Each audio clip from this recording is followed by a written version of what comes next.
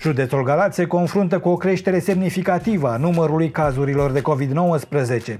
Autoritățile publice sunt tot mai alarmate de amploarea fenomenului, iar prefectul Gabriel Panaitescu a ținut să tragă în mod public un semnal de alarmă cu privire la efectele tot mai grave ale coronavirusului. Îmbolnăviri. Număr de cazuri de îmbolnăviri începând de la 8 martie, unde am avut 20.977 per total, am ajuns 17 martie la 21.971. Număr de îmbolnăviri în 24 de ore, în 8 martie am avut 21 de cazuri, iar în 17 martie am avut 185 de cazuri. Per total 1015 persoane care au fost care s-au îmbolnăvit în perioada asta. Partea proastă că avem și decese. Dacă la 8 martie n-am avut niciun deces, la, 7, la 17 martie am avut 7 decese, iar în perioada asta au fost 37 de decese.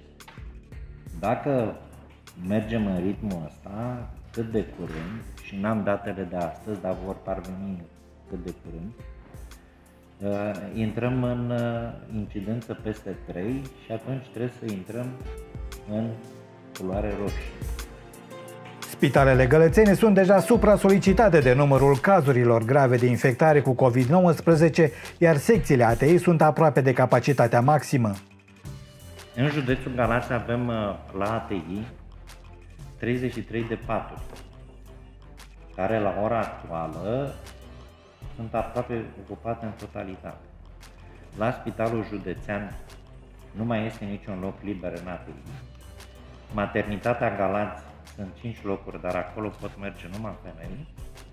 Spitalul de copii sunt 6 locuri și normal că se duc copii, iar Spitalul Militar de Urgență la ora actuală, astăzi, mai sunt două locuri. Intrăm într-o criză de 4 de ATI. Încercăm să facem tot ce este posibil ca să limităm sunt ca persoanele, ca oamenii din județul Galați să ajungă pe paturile de la ATI. Prefectul Gabriel Panaitescu a ținut să facă, în mod special, un apel la adresa tinerilor în ceea ce privește respectarea regulilor de prevenire a răspândirii coronavirusului. Unul din vectorii care transmit virusul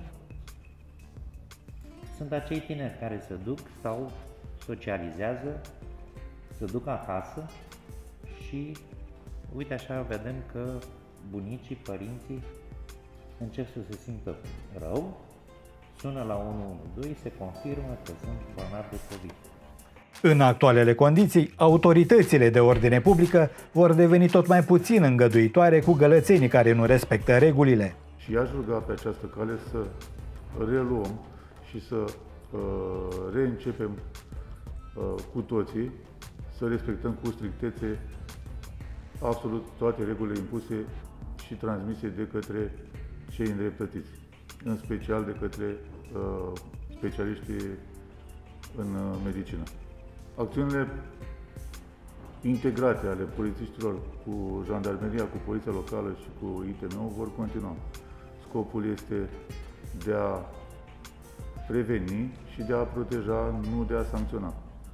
Totodată aș ruga uh, cetățenii care constată încălcări ale normelor de protecție să se sesizeze de îndată la 112 pentru a putea să intervenim în timp util.